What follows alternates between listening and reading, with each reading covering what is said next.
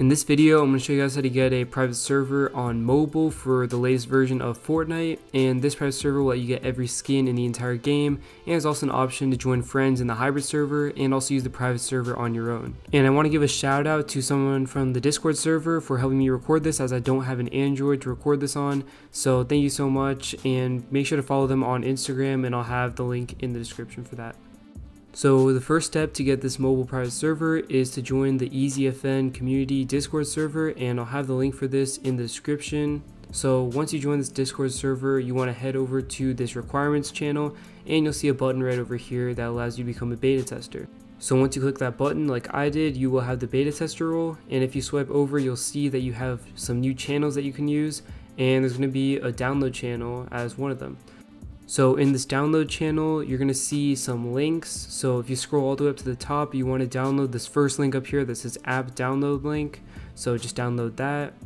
And then you're going to want to download this link right over here, which is the new updated link for the newest update of Fortnite. And if you're watching this video later on, you might get a different link.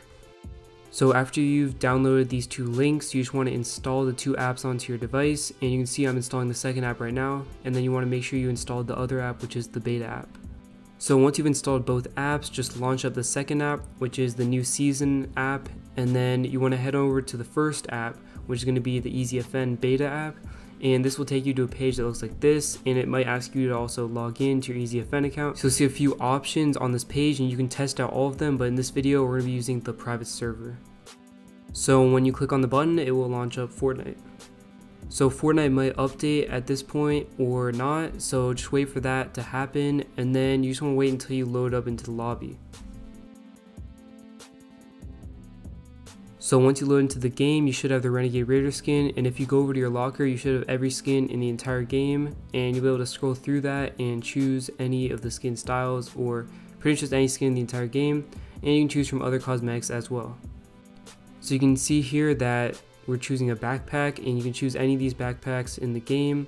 And you can also choose a pickaxe and change any of these.